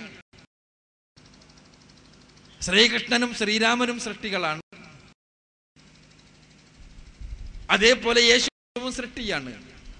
അവർ ജനിച്ചവരാണ് വളർന്നവരാണ് പോയവരാണ്. അപ്പൊ അങ്ങനെയുള്ള ആളുകളെ അനശ്വരനായ തമ്പുരാനെയാണ് ആരാധിക്കേണ്ടത്. ഇങ്ങനെ ജനിക്കുന്ന ആളുകളെയല്ല. ഇതാണ് ഇസ്ലാമിന്റെ അടി ചുരുക്കത്തിൽ സ്രട്ടാവായ തമ്പുരാനാണ് ഈ പ്രപഞ്ചം പരിപാലിക്കുന്നത് എന്ന ആശയത്തെ ഇസ്ലാം അംഗീകരിക്കുന്നു. അവനെ ഏത് പേര് വിളിച്ചാലും പേര് സട്ടാവായ തമ്പുരാനെ കുറിക്കുന്നതാകണം. അവന്റെ പരിശുദ്ധിയെ കൃത്യമായി ഉൾക്കൊള്ളുന്നതാകണം. അള്ളാഹു എന്ന പദം ഏറ്റവും അധികം പ്രസക്തമാകുന്നത് ഇവിടെയാണ്. നമ്മൾ ശ്രട്ടാവായ തമ്പുരാനെ ദൈവം എന്ന് വിളിച്ചാൽ ആ ദൈവം പലപ്പോഴും വളരെ ആപ്റ്റായിട്ടുള്ള കൃത്യമായ പദമാകുന്നില്ല. എന്തുകൊണ്ടെന്നാൽ ദൈവത്തിന് സ്ത്രീലിംഗമുണ്ട് ദേവിയുണ്ട്. ദൈവത്തിന് ബഹുവചനമുണ്ട് ദൈവങ്ങളുണ്ട്. ഇംഗ്ലീഷിൽ നമ്മൾ ഗോഡ് എന്ന് വിളിച്ചാൽ ഒരു കൃത്യമായ പദമാകുന്നില്ല. ഗോഡിന് ഗോഡസും ഗോഡ്സും ഉണ്ട്. ഇതേപോലെ ദൈവത്തിന്റെ പരിശുദ്ധിയെ പൂർണമായി ഉൾക്കൊള്ളാത്ത പദങ്ങൾക്ക് പകരം ബഹുവചനങ്ങളില്ലാത്ത അതേപോലെ തന്നെ ലിംഗഭേദങ്ങളില്ലാത്ത സ്ത്രീലിംഗമോ പുരുഷലിംഗമോ അങ്ങനെ ലിംഗഭേദങ്ങളില്ലാത്ത ശുദ്ധമായ പദമാണ് അള്ളാഹു എന്ന പദം. ആ അള്ളാഹു എന്ന പദം സട്ടാവായ തമ്പുരാനെ കൃത്യമായി അവന്റെ പരിശുദ്ധിയെ കൃത്യമായി ഉൾക്കൊള്ളുന്നു എന്നർത്ഥം. എന്നാൽ യഹോവ എന്ന സട്ടാവായ തമ്പുരാനെ വിളിക്കുന്നതിന് അതേപോലെ തന്നെ പര പരബ്രഹ്മെന്ന് പരബ്രഹ്മം എന്ന് വിളിക്കുന്നതിനെയല്ല ഇസ്ലാം എതിർക്കുന്നത്. മറിച്ച് ആ സട്ടാവായ തമ്പുരാന്റെ വിശുദ്ധിയെ ഉൾക്കൊള്ളുന്ന പദമാകണം അത്. ഒന്ന്. രണ്ടാമത്തേത് സട്ടാവായ തമ്പുരാനെ മാത്രം ആരാധിക്കണം എന്നുള്ളതാണ് ഇസ്ലാമിന്റെ രംഗത്തെ കാഴ്ചപ്പാട്. വ്യത്യസ്ത ദൈവങ്ങൾ സൃഷ്ടിച്ചു എന്ന് ഇസ്ലാം വിശ്വസിക്കുന്നില്ല എന്നർത്ഥം. സഹോദരിമാരുടെ ഭാഗത്തു നിന്ന് ചോദ്യമാണ്. ഇസ്ലാം മതവിശ്വാസത്തിൽ അധിഷ്ഠിതമായ പാകിസ്ഥാൻ ഉൾപ്പെടെയുള്ള രാഷ്ട്രങ്ങളിൽ അതിരൂക്ഷമായ ഭീകരപ്രവർത്തനങ്ങൾ നടക്കുന്നു. ഭീകര സംഘടനകളും നിലവിലുണ്ട്. ഇത് കാരുണ്യ പ്രവർത്തനങ്ങളാണോ നടത്തുന്നത്? ഇസ്ലാം മത വിശ്വാസ പ്രകാരം നടക്കുന്ന പാകിസ്ഥാനെ പോലുള്ള രാജ്യങ്ങളിൽ നടക്കുന്ന ഭീകര പ്രവർത്തനങ്ങൾ കാരുണ്യമാണോ എന്നാണ് ചോദ്യം. ഇസ്ലാം മതപ്രകാരമാണ് പാകിസ്ഥാൻ നടക്കുന്നത് എന്ന് എനിക്കിപ്പോൾ കിട്ടിയ വിവരമാണ് സത്യത്തിൽ പാകിസ്ഥാൻ എന്നൊരു രാജ്യം ഇസ്ലാമിക രാഷ്ട്രമോ ഇസ്ലാമിക പ്രമാണങ്ങൾ അനുസരിച്ച് മുന്നോട്ട് പോകുന്ന രാഷ്ട്ര സംവിധാനമോ അല്ല. മുസ്ലിങ്ങൾ ഭൂരിപക്ഷമുള്ളൊരു രാജ്യം എന്ന് പറയാൻ വേണമെങ്കിൽ. അവിടെ നടക്കുന്ന ഭീകരപ്രവർത്തനങ്ങളോ മറ്റോ ഒന്നും ഇസ്ലാമുമായി യാതൊരു ബന്ധവുമില്ല എന്നുള്ളതാണ് സത്യം. ഇസ്ലാമുമായി അവിടെ ഭീകരപ്രവർത്തനങ്ങൾ നടക്കുന്നുണ്ടെങ്കിൽ അതുമായി ഇസ്ലാമിക പ്രമാണങ്ങളും ഇസ്ലാമികമായ സിദ്ധാന്തങ്ങളുമായി യാതൊരു ബന്ധവുമില്ല. മാത്രമല്ല പാകിസ്ഥാൻ എന്നുള്ളൊരു രാഷ്ട്രം ഒരു ഇസ്ലാമിക രാഷ്ട്രമാണ്. എന്ന് മുസ്ലിങ്ങൾ ആരും കരുതുന്നില്ല വിശ്വസിക്കുന്നില്ല അവിടെ മുസ്ലിങ്ങൾ നടത്തുന്ന ഒരു രാജ്യം അതിലെ പ്രമാണങ്ങളോ അതിന്റെ ഭരണഘടനയോ ഒന്നും തന്നെ ഇസ്ലാമിക പ്രമാണങ്ങളുമായി യോജിക്കുന്നതല്ലതാണ്. എന്റെ പേര് മാറൂഫ് ഇരിക്കൂർന്ന് വന്നാണ് ഇസ്ലാം കലാപമല്ല കാരണമാണ് എന്ന് കലാപത്തിന്റെ ചിഹ്നമായ ഇസ്ലാമിന് വല്ല ബന്ധവുമുണ്ടോ? കാരണം മുസ്ലിങ്ങളെ തന്നെ കേരളത്തിലെ പല പള്ളികളിൽ നമ്മൾ കഴിഞ്ഞാൽ അവിടെ പള്ളി എടുത്തിട്ടാണ് ആ, മെമ്പറി കയറുന്നത്. അപ്പോൾ അതിന് ഇസ്ലാമുമായിട്ട് എന്തെങ്കിലും ബന്ധവുമുണ്ടോ? മാത്രമല്ല സൗദി അറേബ്യയിലെ കൊടി നോക്കുമ്പോഴും വാള കാണുന്നത്.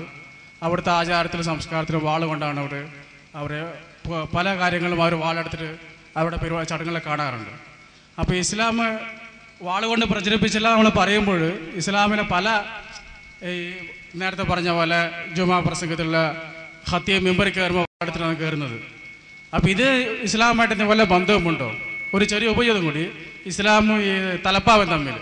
ഒരു താടി വക്കൽ സുന്നത്താണ് മനസ്സിലായത്. പക്ഷേ തലപ്പാവ് ഇസ്ലാമും തമ്മിൽ. അത് ഇസ്ലാമിലെ സുന്നത്തോ ഒരു പ്രധാനപ്പെട്ട കാര്യമാണോ അല്ല അത് ഇസ്ലാമിൽ ആൾ ചെയ്യേണ്ടത് കാര്യം ആ ഒരു സംശയം കൂടി ഉണ്ട്. രണ്ട് സംശയം.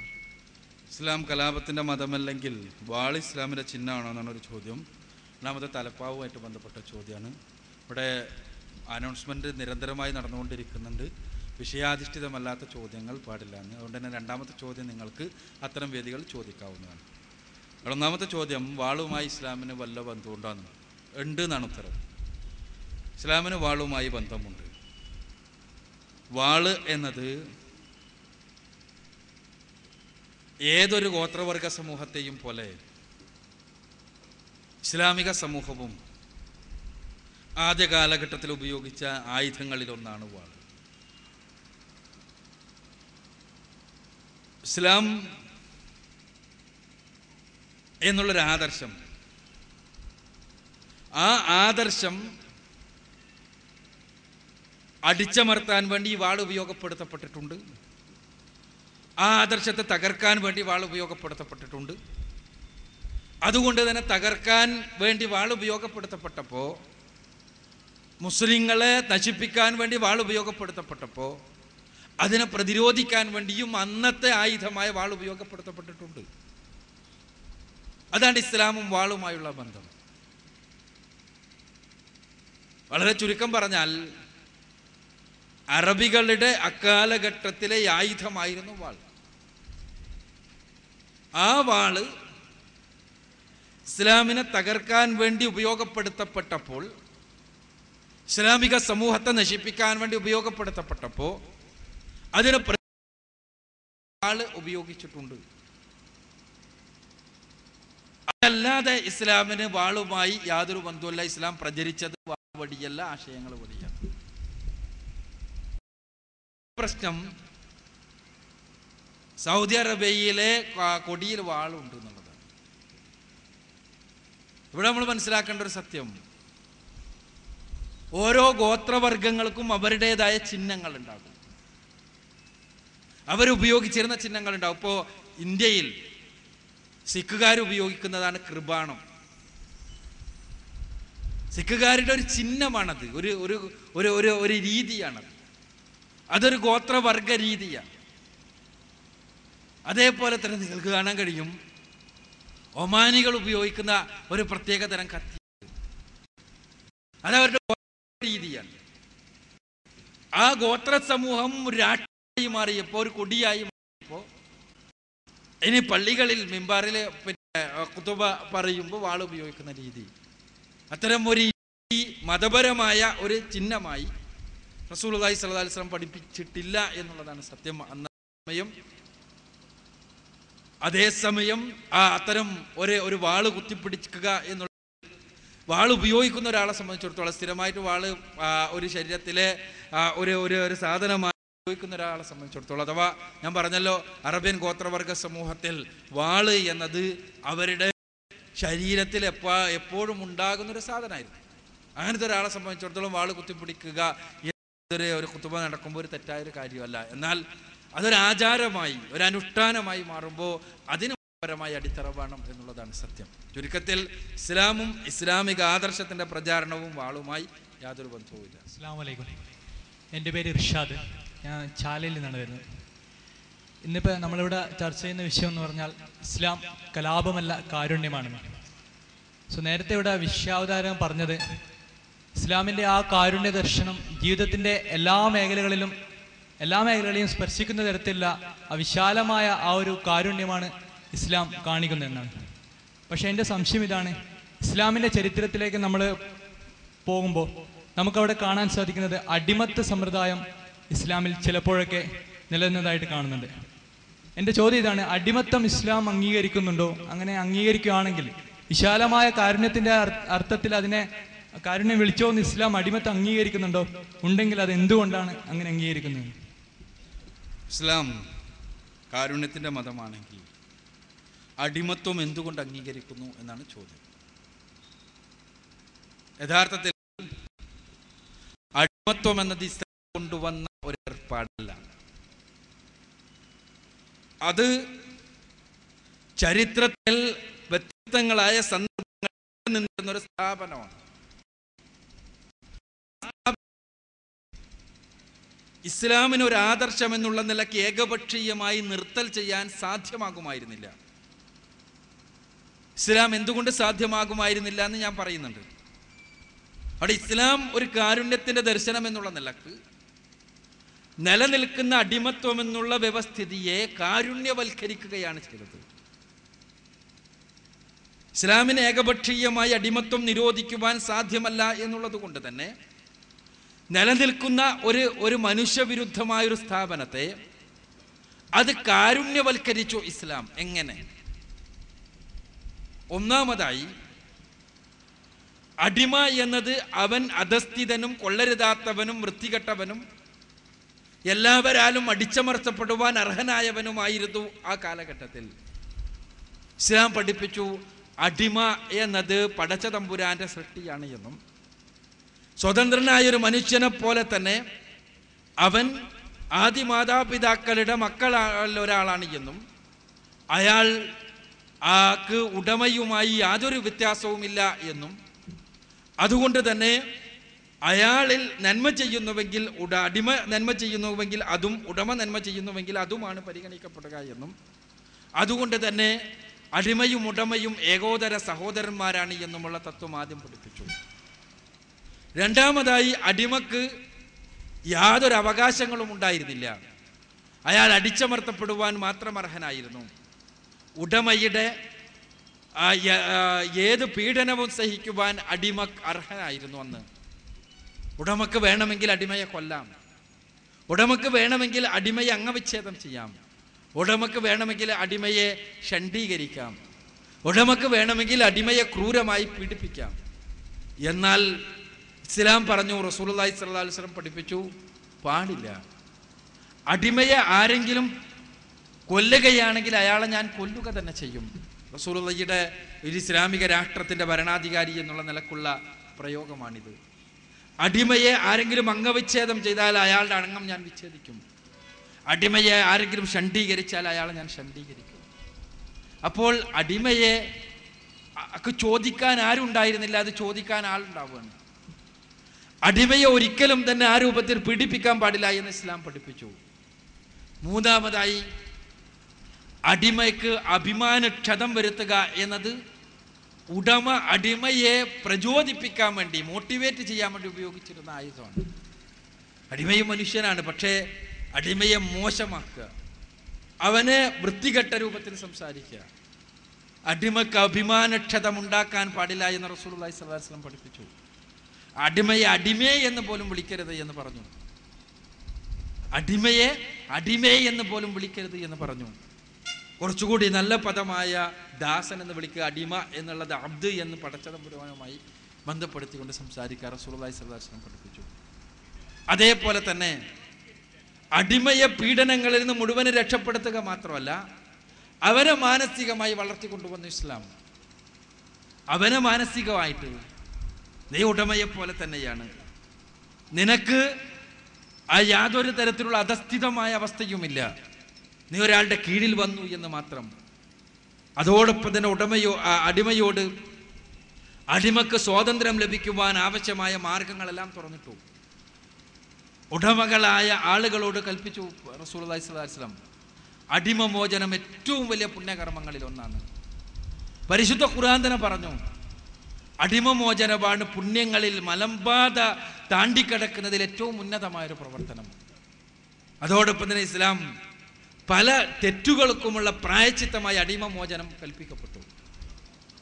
അങ്ങനെ അടിമകൾക്ക് മോചനത്തിനുള്ള മാർഗം ഉണ്ടാക്കി അതോടൊപ്പം തന്നെ ഇസ്ലാം പഠിപ്പിച്ചു അടിമ മോചനം ആഗ്രഹിക്കുന്നുവെങ്കിൽ ആ മോചനം ആഗ്രഹിക്കുന്ന അടിമയെ മോചിപ്പിക്കാൻ ഉടമസ്ഥൻ ബാധ്യസ്ഥനാണ് എന്ന്.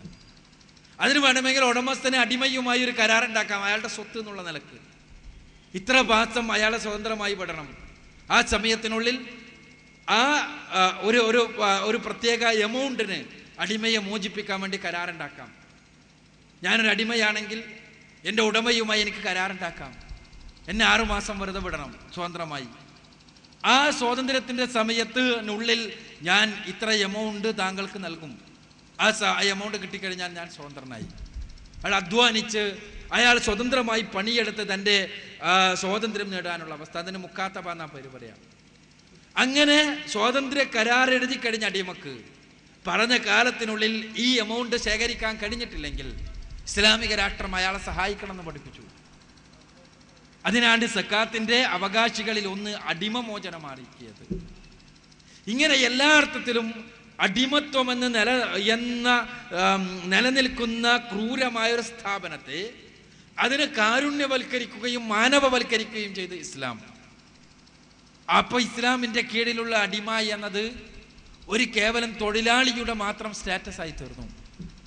ഒരു മുസ്ലിമിന്റെ കീഴിലുള്ള അടിമ എന്ന് പറഞ്ഞാൽ നമ്മളുടെ നാട്ടിലെല്ലാം നിലനിൽക്കുന്ന ഒരു മുതലാളിയുടെ കീഴിലുള്ള തൊഴിലാളി എന്നൊരു സ്റ്റാറ്റസ് അതോ ഇപ്പോ ആ തൊഴിലാളിക്ക് നമ്മൾ ശമ്പളം കൊടുക്കുന്നതിന് പകരം അയാളെ പൂർണമായി ഉടമ ഏറ്റെടുക്കുന്നു എന്ന് മാത്രം. അയാളുടെ എല്ലാ ചെലവുകളും ഉടമ ഏറ്റെടുക്കുന്നു. അയാൾക്ക് ഉള്ള എല്ലാ ചെലവും ഉടമ ഏറ്റെടുക്കുന്നു. പകരം ഉടമക്ക് വേണ്ടി അയാൾ പണിയെടുക്കുന്നു. അതാണ് ഇസ്ലാമിക സമൂഹത്തിലെ അടിമയുടെ സ്റ്റാറ്റസ്. എത്രത്തോളം എന്ന് വെച്ചാൽ ആ അടിമ നേതാവായി വരെ രാജാവായി വരെ വരാം.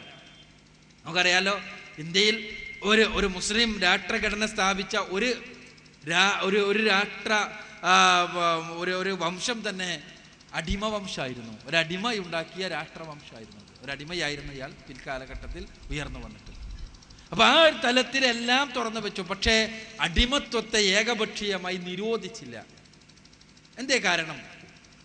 മദ്യം നിരോധിച്ചതുപോലെ വ്യഭിചാരം നിരോധിച്ചതുപോലെ പലിശ നിരോധിച്ചതുപോലെ ലോട്ടറി നിരോധിച്ചതുപോലെ ഇസ്ലാമിനെ എന്തേ അടിമത്തം നിരോധിച്ചുകൂടായിരുന്നോ എന്ന് നമുക്ക് ചോദിക്കാം.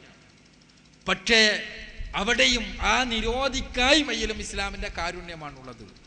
എന്താ കാരണം? നിങ്ങൾ പരിശോധിച്ച് നോക്കുക. ഒരു അടിമയുടെ കണ്ണിലൂടെ നോക്കുക നിങ്ങൾ. അടിമത്വം നിരോധിക്കുന്ന ഇസ്ലാം ഏകപക്ഷീയമായി അടിമത്വം നിരോധിക്കുന്നതാണോ നല്ലത്? അതല്ല നിരോധിക്കാത്തതാണോ അടിമയുടെ കണ്ണിലൂടെ നല്ലത്? ഏകപക്ഷീയമായി ഇസ്ലാം നിരോധിച്ചാൽ അടിമത്തം നിരോധിച്ചാൽ ആ അടിമ ഒരു മുസ്ലിമിന്റെ കീഴിലുണ്ടായിരുന്ന അടിമ ചെന്നെത്തുക സ്വാഭാവികമായിട്ട് ഒരു അമുസ്ലിമിന് അടിമത്തം നിരോധിക്കപ്പെട്ടിട്ടില്ല. ഒരു മതം എന്നുള്ള നിലയ്ക്ക് ഇസ്ലാം അടിമത്തം നിരോധിച്ചാൽ ഒരു അമുസ്ലിമിനെ അടിമയായി ഒരു അടിമയുടെ വീക്ഷണത്തിൽ അടിമത്വം നിരോധിക്കുന്നതല്ല ഇസ്ലാം അടിമത്വം നിരോധിക്കുന്നതല്ല അയാൾക്ക് മെച്ചം. ഒന്ന്. രണ്ടാമത്തേത് ഇസ്ലാം ഏകപക്ഷീയമായ അടിമത്തം നിരോധിച്ചു എന്ന് വിചാരിക്കുക. എന്നാൽ മുസ്ലിങ്ങൾക്ക് അത് വലിയ പ്രയാസം ഉണ്ടാക്കും. എന്താ പ്രയാസം? എന്താണ് പ്രയാസം? അടിമ കടന്നു വരുന്ന മാർഗങ്ങളിൽ ഒന്ന് യുദ്ധങ്ങളാണ്. യുദ്ധത്തിൽ അക്കാലഘട്ടത്തിൽ പിടിക്കപ്പെട്ടിരുന്ന ആളുകളെ അടിമകളാക്കി മാറ്റുകയായിരുന്നു സമ്പ്രദായം. യുദ്ധത്തിൽ പിടിക്കുമല്ലോ ഓരോ വിഭാഗവും. അവരടിമകളാക്കി മാറ്റും. അന്ന് അതല്ലാതെ വേറെ നിർവാഹമില്ല ഇപ്പോഴത്തെ ഇതുപോലെ വളരെ വ്യാപകമായ ജയിലുകളൊന്നും ആ കാലഘട്ടത്തിലില്ലല്ലോ. അപ്പോൾ അന്ന് യുദ്ധം കഴിഞ്ഞാൽ രണ്ട് വിഭാഗങ്ങൾ തമ്മിൽ യുദ്ധം ഉണ്ടായി. യുദ്ധം കഴിഞ്ഞാൽ ആ യുദ്ധത്തിന് ശേഷം സ്വാഭാവികമായും ഇന്നുണ്ടാകുന്നത് പോലെയുള്ള നെഗോസിയേഷന് വേണ്ടിയുള്ള സംസാരങ്ങൾ ഉണ്ടാകും. പരസ്പരമുള്ള കരാറുകൾ ഉണ്ടാകും. അതേപോലെയുള്ള സംസാരങ്ങൾ ഉണ്ടാകും. അങ്ങനെ സംസാരിക്കുമ്പോൾ ഞങ്ങളുടെ കയ്യിലുള്ള ഈ ആളുകളെ നിങ്ങൾക്കും നിങ്ങളുടെ കയ്യിൽ നിങ്ങൾ പിടിച്ച ആളുകളെ ഇങ്ങോട്ടും വിട്ടുതരണം എന്നുള്ളൊരു ടോക്ക് ഉണ്ടാകും. യുദ്ധം കഴിയുമ്പോൾ. ഇസ്ലാം ഏകപക്ഷീയമായി അടിമത്തം നിരോധിച്ചു എന്ന് വിചാരിക്കുക. അപ്പോൾ അമുസ്ലിങ്ങളും മുസ്ലിങ്ങളും തമ്മിൽ യുദ്ധം ഉണ്ടായി. ആ യുദ്ധത്തിൽ അമുസ്ലിങ്ങൾക്കറിയാം ഇസ്ലാം അടിമത്തം നിരോധിച്ചിട്ടുണ്ട്.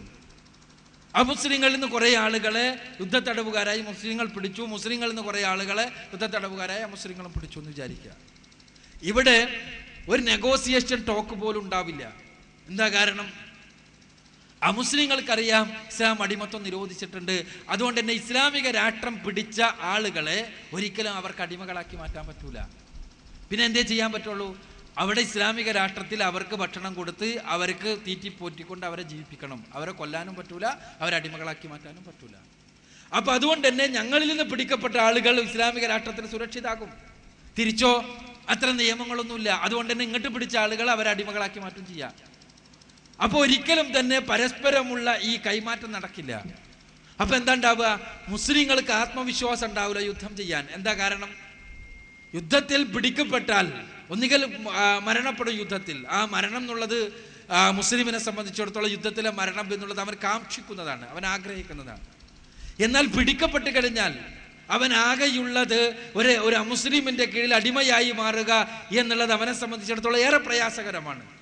അപ്പൊ അവനുള്ളൊരു പ്രതീക്ഷ എന്താണ്? തിരിച്ചും നമ്മളെ ആളുകളും മുസ്ലിങ്ങളും പിടിക്കുമല്ലോ ഉടമ അടിമകളെ അപ്പൊ പരസ്പരം കൈമാറ്റപ്പെടും എന്നുള്ളതാണ്. ആ പ്രതീക്ഷ പൂർണമായി നഷ്ടപ്പെടും. ആ പ്രതീക്ഷ ഉണ്ടാവൂല. എന്താ കാരണം? ഇസ്ലാം അടിമത്വം നിരോധിച്ചിട്ടുണ്ട്. അതുകൊണ്ട് തന്നെ ഇങ്ങോട്ട് പിടിക്കാൻ പറ്റൂല. അവിടെ മാത്രം പിടിക്കപ്പെടുള്ളൂ. അങ്ങനെയാകുമ്പോൾ ഒരിക്കലും പിടിക്കപ്പെട്ട ഒരു അടിമയെ സംബന്ധിച്ചിടത്തോളം ഒരു പിടിക്കപ്പെട്ട ഒരു പടയാളിയെ സംബന്ധിച്ചിടത്തോളം അയാൾ അടിമയാക്കപ്പെട്ടാൽ ഒരിക്കലും പിന്നെ അയാൾക്ക് രക്ഷയില്ല എന്നുള്ള ഒരു അവസ്ഥയാണ് ഉണ്ടാവുക. അപ്പൊ അയാളുടെ ആത്മവിശ്വാസം ഉണ്ടാവില്ല. യുദ്ധത്തിൽ ആത്മവിശ്വാസം ഉണ്ടാവില്ല അപ്പോൾ ചുരുക്കത്തിൽ ഇസ്ലാമിന് മാത്രമായി ഏകപക്ഷീയമായി അടിമത്വം നിരോധിക്കുക ഒരു ആദർശ പ്രസ്ഥാനം എന്നുള്ള നിലയ്ക്ക് സാധ്യമാകില്ലായിരുന്നു അതുകൊണ്ട് തന്നെ അടിമത്വം നിരോധിച്ചില്ല. എന്നാൽ നിലനിൽക്കുന്ന അടിമ വ്യവസ്ഥയെ പൂർണമായി കാരുണ്യവൽക്കരിച്ചു മാനവവൽക്കരിച്ചു. ഇസ്ലാമിൽ ഒരു മുസ്ലിമിന്റെ കീഴിലുള്ള ഒരു അടിമ എന്ന് പറഞ്ഞാൽ എല്ലാ അവകാശങ്ങളുമുള്ള ഏത് സമയത്തും സ്വാതന്ത്ര്യം ചോദിച്ചു വാങ്ങാൻ അവകാശമുള്ള എല്ലാ രൂപത്തിലും തന്നെ പോലെ പരിഗണിക്കപ്പെടുന്ന ഒരു തൊഴിലാളി മാത്രമാണ്. അതല്ലാതെ അടിച്ചമർത്തപ്പെടുന്ന ഒരു അടിമത്ത സമ്പ്രദായമല്ല ഇസ്ലാമിന് ഇസ്ലാം അനുവദിച്ച അടിമത്ത സമ്പ്രദായം എന്നാണ്. അസ്സാം വലൈക്കും എന്റെ പേര് ഫൈസൽ വളപട്ടണം സ്വദേശിയാണ്. ബഹുമാന്യ അക്ബർ സാഹിബ് നേരത്തെ ഒരു ചോദ്യത്തിനുള്ള മറുപടിയിൽ പറഞ്ഞു പലസ്തീനിലും മറ്റും നടക്കുന്നത് നിലനിൽപ്പിനുള്ള പോരാട്ടമാണ്. അതുകൊണ്ട് അതിൽ യാതൊരു പ്രശ്നവും ഇല്ല എന്ന്. എന്നാൽ അതേ സാഹചര്യം നമുക്ക് ഇന്ത്യയിലും അതുപോലെ തന്നെ കേരളത്തിലും വന്നാൽ അത്തരം സാഹചര്യങ്ങളിൽ മുസ്ലിങ്ങളുടെ നിലനിൽപ്പിന് വേണ്ടി സംഘടിക്കുന്ന അഥവാ ഗുജറാത്തിലും മറ്റും നടന്നതുപോലെ ഗർഭിണികളായ സ്ത്രീകളെ വയർ കുത്തിക്കീറി ഗർഭസ്ഥ ശിശുക്കളെ പുറത്തെടുത്ത് കൊന്ന അത്തരം ക്രൂരമായ അവസ്ഥയിൽ ആ ഒരു അവസ്ഥ ഉണ്ടാകുമ്പോൾ അതുപോലെ മാറാട് ജനിച്ച സ്ഥലത്ത് നിന്ന് സ്വന്തം വീടും മറ്റും വിറ്റ് മറ്റു സ്ഥലത്തേക്ക് പോകേണ്ടി വരുന്ന അവസ്ഥ. മുസ്ലിങ്ങളുടെ നിലനിൽപ്പ് ചോദ്യം ചെയ്യപ്പെടുന്ന ആ അവസരത്തിൽ എൻ ഡി എഫ് പോലെയുള്ള മുസ്ലിം കൂട്ടായ്മയെ എന്തുകൊണ്ട് ഇത്തരം വേദികളിൽ നിന്ന് എതിർക്കുന്നു? അതാണ് എന്റെ ഒന്നാമത്തെ